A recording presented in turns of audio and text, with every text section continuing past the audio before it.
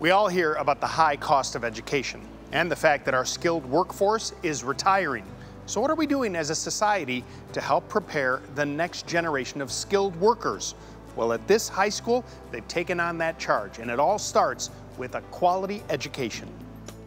Mike Jakubowski is an industrial arts instructor at Hampshire High School in Hampshire, Illinois. Not only that, he's my closest friend, godfather to my kids, and we used to build houses together. Today, he's part of an advanced trade education program that can translate directly into real world jobs. We have five areas of study uh, welding, wood shop, auto shop, advanced manufacturing, and CAD. We service about almost 500 kids out of our 1,700 kids here. There's four teachers. I like to use the phrase, it's not grandpa's woodshop anymore. Even in a design class, they're gonna 3D print something or they'll take it to the machine shop or they'll take it to the welding shop, all producing parts via computerized machinery. And if the parts don't work, then you take that back, and they don't always. Right. And you take that back to the design class, and then what are you going to change? It's not like it used to be, and the industry is just crying for trained individuals. I have kids that are going to into, into a four-year degree to get an engineering degree. Right. And I have kids that will leave Hampshire High School and go get a job. It's valuable to, to the whole spectrum, I think. Where it's got 4,000 pounds on it, it will actually straighten it back out. So now as it rolls down the road, it rolls out straight. I graduated four years ago, and my main focus in high school was automotive technology. There's not just your technician that's in the shop working on the car, there's just an abundance of where you can go with automotive, and that goes the same with the wood shop class, electrical class, welding. You're not going to see it go away anytime soon.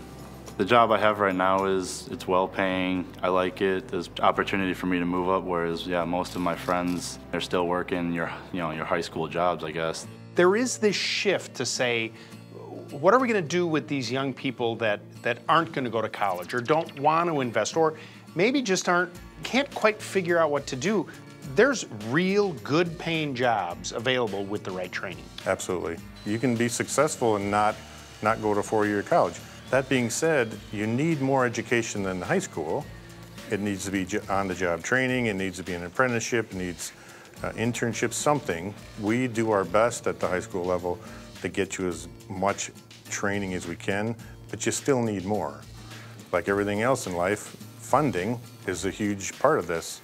Uh, we get federal grants, which help us out a great deal, but without the support of administration, we're, we're dead in the water. You know, we're a hobby class. For us here, we look at setting up advisory boards, so bringing in businesses from the area to find out what are their needs for employees, uh, what are their needs for skill sets, so that way we can help build our classes around those skill sets that employers are looking for to help get students those jobs when they're exiting school.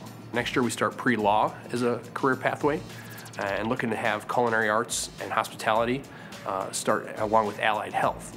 In addition to the hard skills, how to operate the machines, how to do this, how to measure that, we do Skills USA, which is a national vocational contest. They have to wear a tie. Some of my kids, you know, don't, don't want to wear ties, but to get a job interview, you might need to wear a tie. Uh, they have to put together a resume. So we try to cover the whole person. We offer a couple of different certifications, but Woodshop has a national certification. In the manufacturing program, we have uh, NIMS certification, either getting you in the door ahead of somebody that's not certified or pay raises along the way as, you, as you're going. And we're working toward that in welding and automotive as well. I'm a junior at Hampshire High School and I'm leaning towards a manufacturing degree.